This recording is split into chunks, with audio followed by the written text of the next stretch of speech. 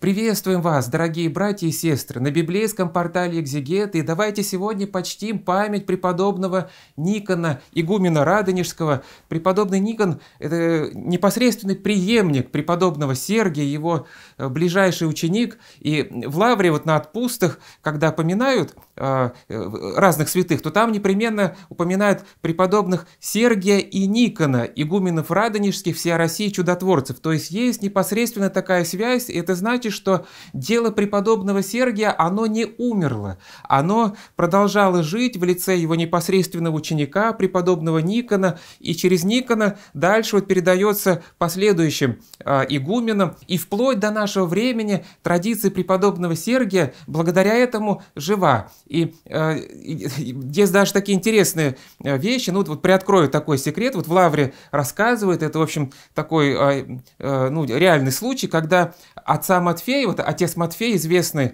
наш э, регент, который э, руководил хором и вообще вот в плане церковной музыки он прославленный такой э, специалист, церковный именно специалист и регент.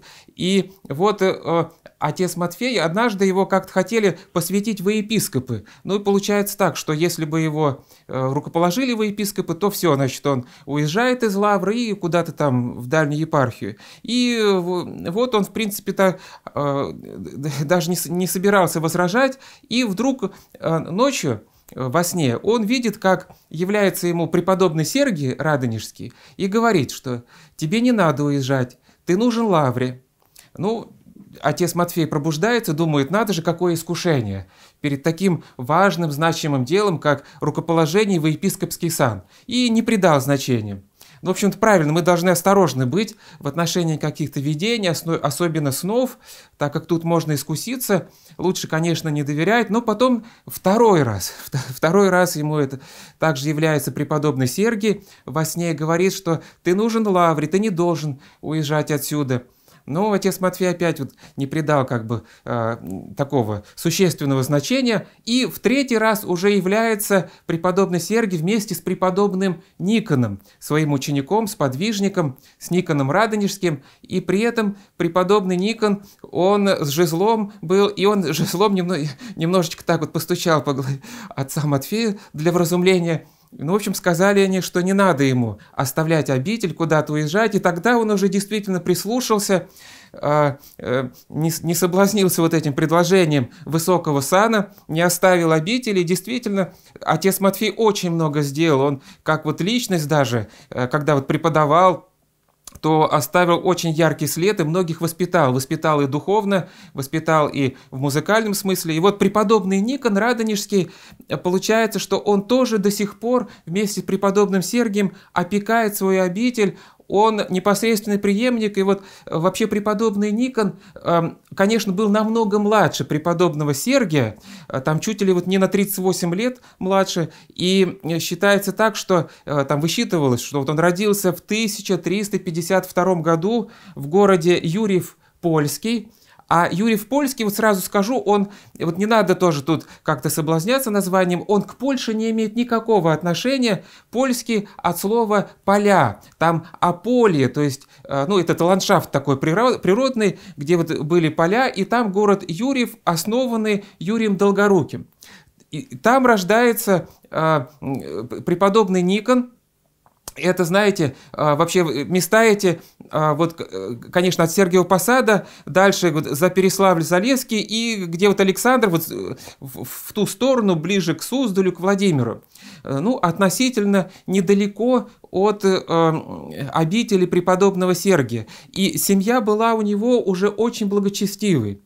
А, кто-то даже э, говорит, что отец был пономарем храме в Юрьеве Польском. И с самого раннего детства а, преподобный Никон, конечно, имя, каким у него было в миру, мы не знаем, но вот сохранилось как Никон уже в монашестве, поэтому мы так его и называем. Так вот, он с детства тяготел уже к духовной жизни, и он много слышал о преподобном Сергии Радонежском. То есть вот личность преподобного Сергия, она просто вот, э, ну, была удивительна. То есть святой, с которым Господь наглядно пребывал посреди людей, э, здесь вот на земле, хотя преподобный Сергий не был многословен, очень простые какие-то слова говорил, но это слова были от сердца, и это все передавали, рассказывали о действенности его молитв, и Никон очень хотел прийти к преподобному Сергию, быть рядом с ним, стать его учеником, внимать словам его, последовать его стопам. И э, как только вот он подрос, но он был еще очень и очень юный, Никон, он действительно оставляет родительский дом, ну, видимо, с благословения, э, приходит в Троицкую обитель э, приходит Келли, стучится и падает низ перед преподобным Сергием. Ну, тот смотрит ласково, с любовью, а Никон просит, чтобы он принял его в ученики. И вот представьте себе, представьте себе, что преподобный Сергий ему отказывает. Это вот отказывает он тому самому преподобному Никону, который на отпустах поминается вместе с ним и который а, считается его непосредственным преемником. Он ему отказывает, ну, Э, трудно сейчас сказать нам, мы, конечно, не обладаем такой вот э, рассудительностью, и сведений мало, э, то ли, может быть, потому, что он был слишком юный, да, то ли преподобный Сергий хотел его испытать, но как бы там ни было, Сергий говорит ему, что ты вот лучше отправляйся э, к Афанасию, в Серпухов, там, где вот монастырь, это вот Афанасий э, Высоцкий, Серпуховской, и он был э, любимым учеником преподобного Сергия. И вот Сергий говорит, что ты лучше иди к нему, у него э, примешь как раз э, пострижение в иноческий чин, и там будешь трудиться. Ну и преподобный Никон, вот тут, наверное, такой ключевой момент, что он не стал спорить и возражать. А ведь э, Афанасия Высоцкого он совершенно не знал. И получается так, что он-то сам хотел быть рядом с преподобным Сергием, а теперь он станет учеником ученика.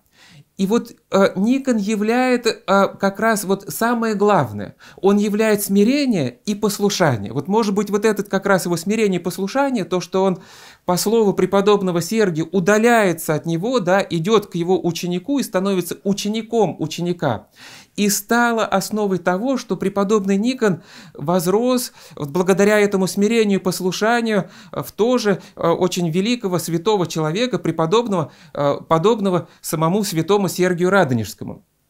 И отправляется, значит, он э, к святому Афанасию, приходит, вот, стучится в келью, ну, путь, конечно, не близкий, то есть получается север на юг, приходит стучиться, а святой Афанасий, он э, предпочитал такое как бы уединение, затвор больше, и вот он через маленькое окошко смотрит, ну, видит, очень юный пришел, и так вот неприветливо, может быть, даже спрашивает, э, зачем ты пришел и чего хочешь? И, значит, Никон просто передает вот в простоте сердечной, что вот, мол, Сергий, Ава Сергий направил меня к тебе, чтобы у тебя принять иноческий э, образ, хочу послужить Господу здесь. А представьте себе, что э, преподобный Афанасий тоже ему отказывает и говорит, нет, давай-ка ты уходи, потому что ты еще слишком юн, и образ жизни старцев для тебя не подходит. Ты не понесешь вот эти наши бдения молитвенные э, днем, ночью, наши труды тяжелые, э, постнический подвиг, поэтому лучше уходи. Ну, значит, получается вообще никак, да. И, э, но Никон неотступно просит, что, э, но ведь люди разные, ты дай хотя бы возможность мне э, пожить здесь, испытать меня. А ему на это Афанасий отвечает, что ты знаешь, уже очень много приходило сюда всяких молодых людей, все они хотели, чего-то обещали, и потом они расходились, не понесли тягот нашей монастырской жизни.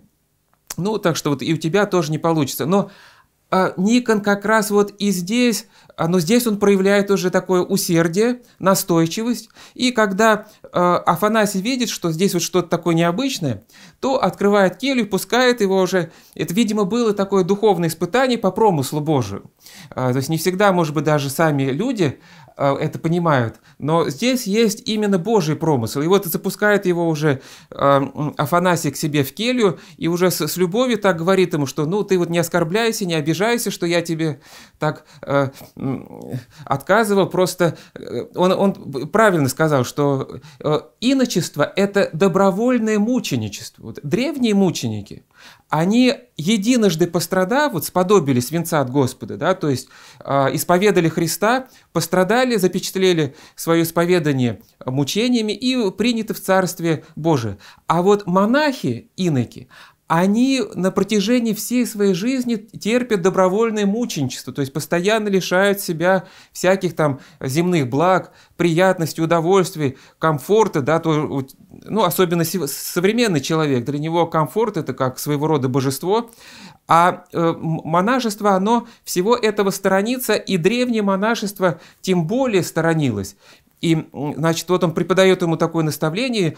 А, Никон все это с радостью принимает и, а, в общем, остается именно там, и именно преподобный Афанасий Высоцкий а, сподобляет его иноческого образа. Там он трудится, входит в эту монастырскую жизнь, молитва, труды, послушание. И мы узнаем, что именно там преподобный Никон принял священный сан. Его возводит в священную степень иерея. И это значит, что сам преподобный Афанасий Высоцкий, Серпуховской и прочие э, э, братья той обители, они глубоко уважали и полюбили преподобного Никона Радонежского. Поэтому именно он возведен в священный сан. И вот после этого как раз ему уже разрешает святой Афанасий пойти вновь к преподобному Сергию. То есть второй приход в Троицкую обитель, э, когда является преподобный Никон, он уже э, в сане иерея, ну, буквально, то есть иеромонах. Он как иеромонах приходит, и тогда его уже преподобный Сергий Радонежский принимает. И преподобный Сергий сначала ставит его послужить братьям, то есть чтобы он трудился на пользу всех, да, чтобы он понимал, что он как бы, ну, не главный здесь, а он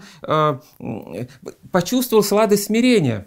И э, на самом деле добродетель смирения доставляет сердцу удивительную благодатную радость, это понимают только те, кто вкусили этот добродетель, и преподобный Сергий пытался передать ему этот дух, дух смирения, дух э, терпеливого несения послушания. И потом вдруг э, происходит нечто невероятное, что преподобный Сергий поселяет Никона в свою келью, чтобы он жил рядом с ним. То есть, видимо, преподобный Сергий уже прозревал, что э, у Никона есть э, способности тоже быть игуменом. Господь э, одарил его этим. То есть, вот он уже показал, что он всем может послужить, да, и не будет превозноситься. И вот он становится сокелейником преподобного Сергия, сатаинником в каком-то смысле.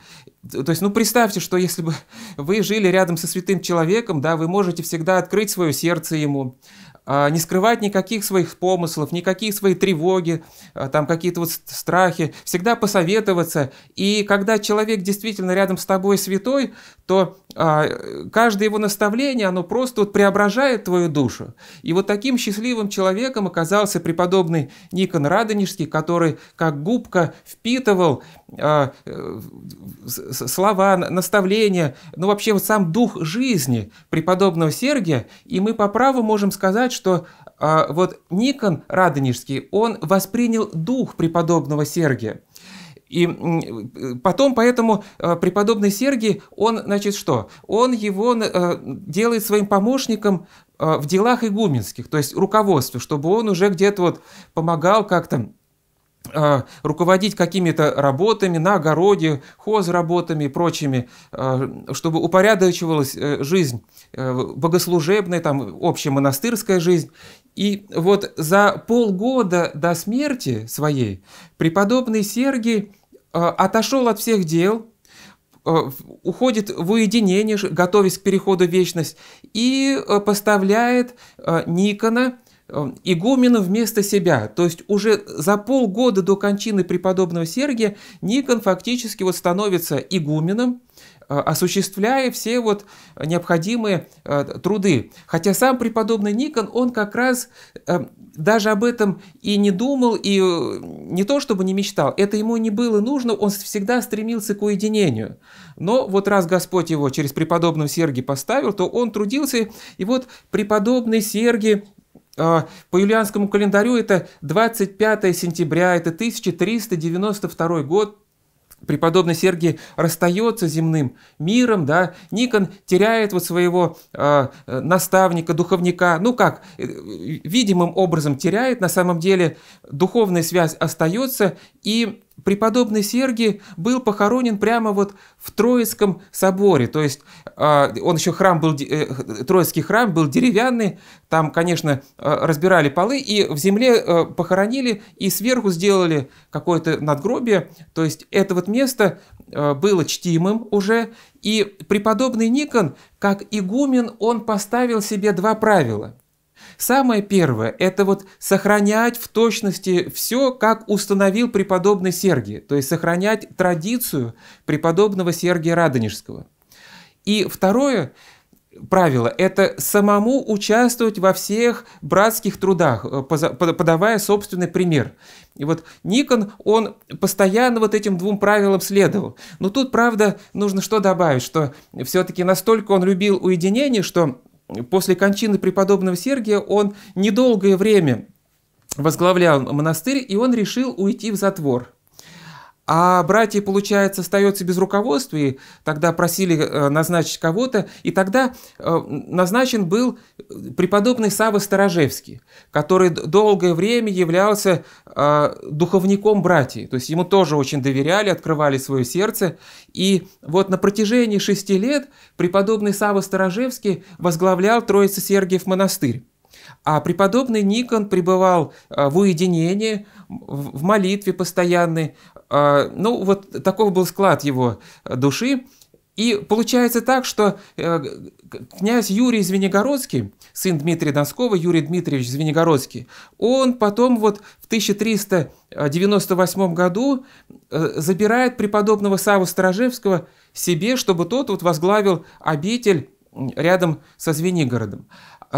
Ну, получается так, что вот 6 лет игуменствовал преподобный Сава, и он уходит, и тогда братья опять просят преподобного Никона. Ну и Никон по любви к братьям уступает, э, возвращается к игуменству, ведь его же непосредственно назначил преподобный Сергий.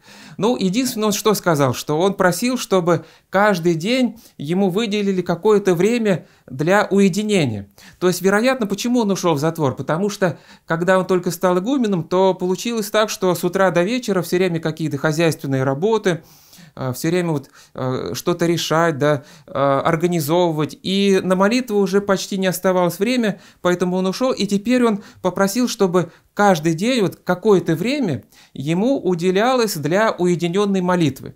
А все остальное время он посвящал себя трудам игуменства.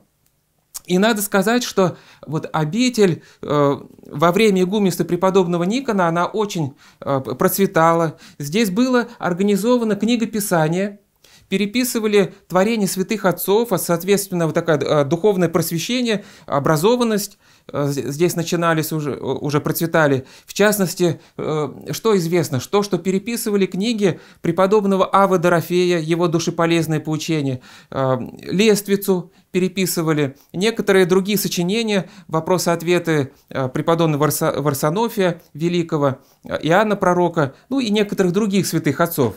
И э, преподобный Никон, он крестил некоторых княжеских детей, то есть его тоже почитали князья. И, соответственно, э, во время преподобного Никона стали жертвовать некоторые земельные имения для того, чтобы поддерживать монастырь, да, э, ну и, соответственно, деятельность монастыря стала расширяться. А потом вдруг э, приходит такая вот беда, нашествие хана Эдигея. Это 1408 год, и хан Эдигей по пути к Москве взял разные города и потом осадил город. Вот. Но в конечном итоге, правда, эта осада оказалась безуспешной, потом уже просто от него откупились, он ушел. Но во время вот этого нашествия э, преподобный Никон э, молился и в том числе Сергию, а к Сергию обращался, чтобы какая-то вот помощь пришла, потому что не знали, чем все это обернется, и э, было дано ему видение, когда после молитвы он присел отдохнуть, и вдруг он видит, как заходят святители Петр, Алексей и преподобный Сергий Радонежский. И преподобный Сергий говорит, что э, вот это вот испытание, оно случилось по воле Божией, И Господу угодно, чтобы испытание коснулось и места сего. Но ты не скорби, потому что все это будет очень непродолжительно, и обитель э, э, процветет еще больше после этого.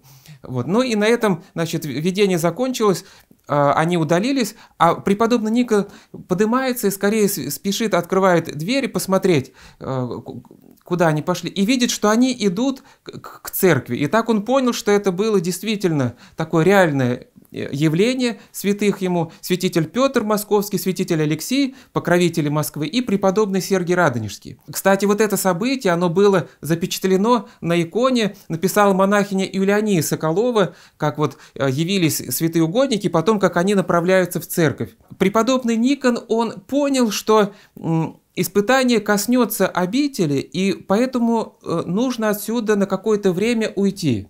И вот благодаря преподобному Никону и прочим монахам удалось спасти некоторые вещи, в том числе преподобного Сергия, потому что а, они это очень ценили. Ну, в частности, что э, спас, удалось спасти? Спасли иконы, келейные иконы преподобного Сергия, это образ Божьей Матери, образ святителя Николая Чудотворца. А, спасли Филонь, которая принадлежала преподобному Сергию Радонежскому – Э, очень простое облачение богослужебное. Видно, насколько преподобный Сергий был скромный, да, э, не искал чего-либо изысканного. Самое главное – это служение, сердечное служение Христу. И вот Филоне его простую удалось спасти также жезл, также богослужебные предметы, деревянные были сосуды, в которых, э, в которых совершалось таинство Евхаристии. И э, вот, кстати, сохранилась также филонь преподобного Никона Радонежского, то есть все, все это удалось вынести перед нашествием Эдигея. И э, филонь Никона, она, конечно, уже чуть более украшена, то есть видно, что обитель э, при преподобном Никоне уже получала ну, чуть больше достатка, нежели во времена преподобного Сергия. Так вот, э, все это удалось спасти, в том числе некоторые книги, и Эдигей на обратном пути от Москвы он сжег Троицкий монастырь, то есть разорил полностью все это место. И вот когда возвращается преподобный Никон, с, с прочими монахами, он видит полностью выжженный монастырь. Вот представьте, да, вот уже пустое, голое место. И вот почему мы чтим преподобного Никона Радонежского? Потому что он все смог восстановить. Он смог восстановить все, что созидалось преподобным Сергием. И храм э, деревянный, конечно, э, ну, надо было сразу э, строить, поэтому э, вновь строят в честь Святой Троицы – храм, но он стоял там, где сейчас становится, э, располагается Духовской храм, церковь в честь Святого Духа. И за три года где-то были построены э, все кельи, постройки вот эти вот э, хозяйственные, монастырские. Храм к 1412 году был выстроен и монастырь удалось восстановить. А еще преподобный Никон очень хотел поставить белокаменный собор на месте первого деревянного храма в честь Святой Троицы. И это удалось э, осуществить. Но причем как? Это совпало как раз вот с обретением мощей преподобного Сергия Радонежского. А мощи-то как раз были э, похоронены внутри вот э, деревянного храма, да, и решили как раз вот э, копать рвы для э, фундаментов Белокаменного собора. И, в общем, когда как раз вот копали, то обрели мощи преподобного Сергия, но этому предшествовало еще и видение. Рядом с обителью э, жил один благочестивый крестьянин, и ему явился сам преподобный Сергий Радонежский.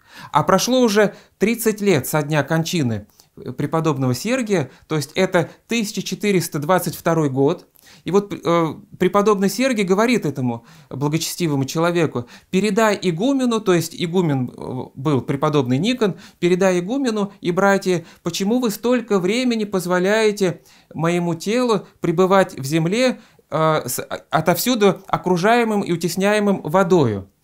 Э, то есть э, преподобный Сергий, он сам соблаговолил вот а, свои мощи явить людям, и вот этот человек благочестивый передает преподобному Никону, и тогда уже поняли, что тело Авы Сергия должно не в земле э, находиться, а быть явлено всем людям. И вот когда обретали мощи преподобного, при этом присутствовал крестник преподобного Сергия, это как раз вот тот э, упоминали мы, Звенигородский князь Юрий Дмитриевич, то э, э, обрели мощи и почувствовали благоухание. Благоухание, э, как вот мира исходящее, ну вот именно благоухание мощей, которое наполнило все вот это вот место.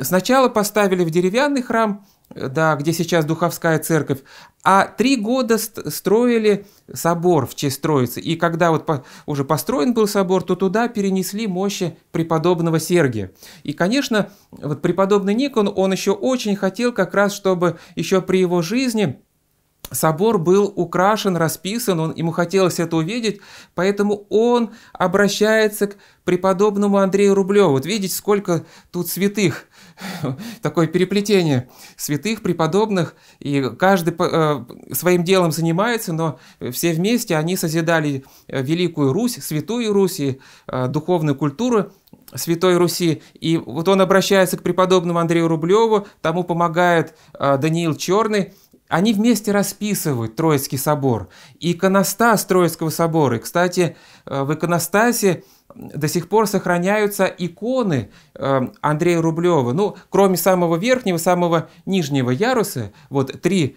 посередине яруса, это как раз вот считается, что расписывал Андрей Рублев с его учениками. И знаменитая Троица Рублева, которая сейчас находится в Третьяковской галерее, она как раз была расписана Э, написано э, именно для Троицкого собора э, обители, и преподобный Никон увидел эту икону.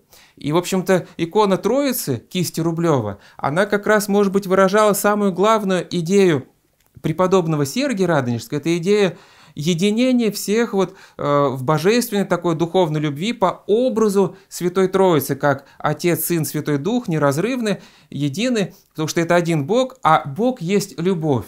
И вот по образу Святой Троицы, Отца, Сына, Святаго Духа мы также должны хранить единство, единство в любви.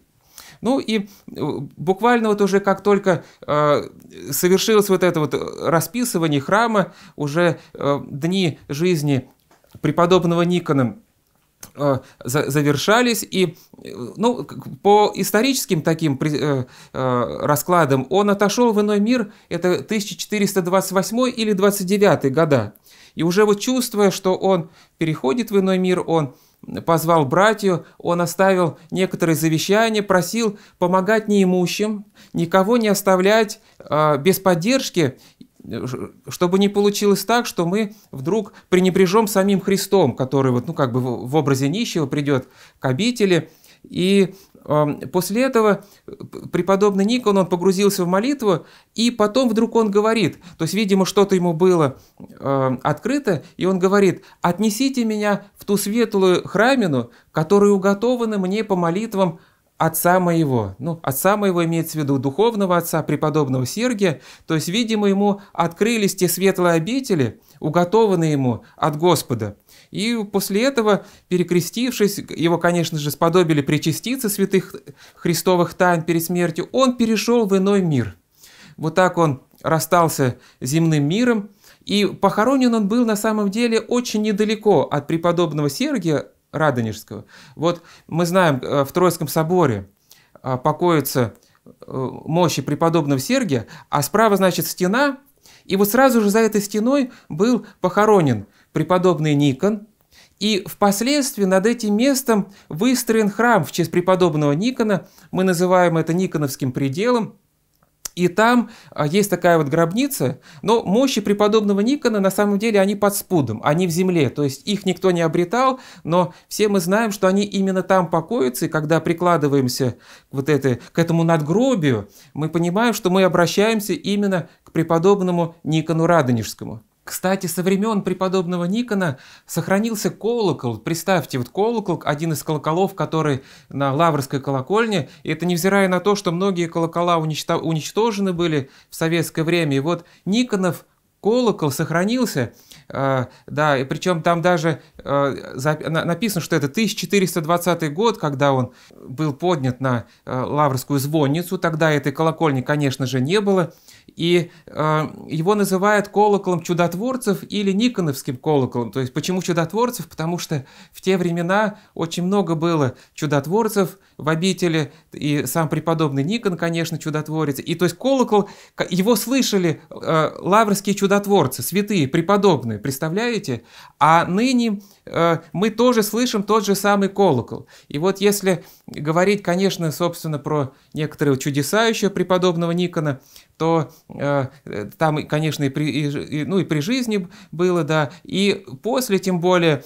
Э, а вот один такой интересный случай, который показывает, что, э, конечно, всякие бывали монахи, по-всякому они реагировали. Один из э, монахов еще времен преподобного Никона, звали его Акакий, и преподобный Никон как-то дал ему поручение, чтобы он посетил одно из сел, а, принадлежащих Троицкому монастырю. Вот мы сказали, что стали жертвовать некоторые имения, а, некоторые земли, и нужно было по делам появляться там, конечно, чтобы осуществлять какое-то руководство, какой-то учет вести. И вот преподобный Никон просил монаха Акакия отправиться туда с, с монастырским поручением, а он не захотел и отвечает, я не для того пришел в монастырь, чтобы обходить города и села. Но его преподобный Никон просил, просил, но так э, тот и не захотел, и э, тогда преподобный Никон так вот в сердцах ему говорит, что ну смотри, э, как бы ты потом по своей воле сам не пошел туда, и там не был бы наказан уже по Божьему действию. Ну и после этого как раз вот проходит некоторое время, и преподобный Никон уже расстался э, земным миром. И вот этот монах Акаки, он уже забыл про то, что ему говорил э, преподобный Никон, и по каким-то своим делам отправился как раз э, в то самое селение, и там вдруг на него напало какое-то безумство, потерял рассудок, стало ему плохо, так что братья монастыря привели его в обитель, и тут он, э, он потом сам, когда уже исцелился, рассказывал об этом. Он вдруг увидел преподобного Никона, который из небесного мира, пришел и говорит ему, сукаризный, с жезлом потрясая, «Для того ли ты пришел в монастырь, чтобы обходить города и селения?» То есть, ну, как бы укорил его, напомнил ему то, что он сам произнес когда-то, немножко так вот с юмором. И, конечно же, этот монах Акаки, он очень вразумился, и он молился очень э, у мощей преподобного Сергия и также у мощей преподобного Никона Радонежского и исцелился. Он полностью исцелился от этой беды, и потом он многим рассказывал о, о том, что произошло. Вот как страшно непослушание, да, перечить а, духовным руководителям, но и зато милость Божия, она велика, вот исцеления подаются такие э, явно чудесные. И впоследствии мы, конечно, не будем э, все пересказывать. Очень много было чудес именно от мощей преподобного Никона, Радонежского и вообще по молитвам ему. А когда была осада Лавры, Свято-Троицкой Сергиевой Лавры, да, 1608-1610 года, 16 а, месяцев э, все это длилось, то неоднократно преподобный Сергий и Никон вместе являлись, они поддерживали братью и устрашали э, захватчиков, тех, которые пытались атаковать обитель. И э, в общем, э, неприятели не раз видели, как два светоносных старца обходят обитель и по стенам обходит обитель, один кадит стены, а другой окропляет святой водой. Вот так преподобный Сергий, преподобный Никон являли свое заступничество, помогали вот сохранилась еще в 19 от 19 века такая история, как э, рисофорный послушник Гавриил, он слег и лежал вот он в монастырской больнице, э, какая-то вот страшная горячка, уже он почти в беспамятстве. И вот он вдруг видит, что как будто он вот уже все умирает, и душа его в какую-то бездну страшную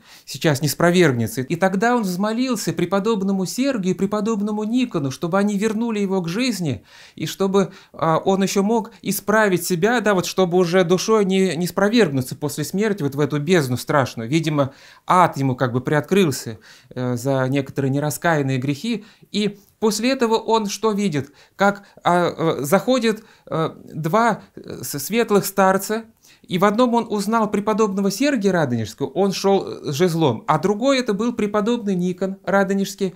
И э, преподобный Сергий жезлом показывает на это Никону показывает на больного Гавриила, э, значит, указывает и говорит: помоги ему.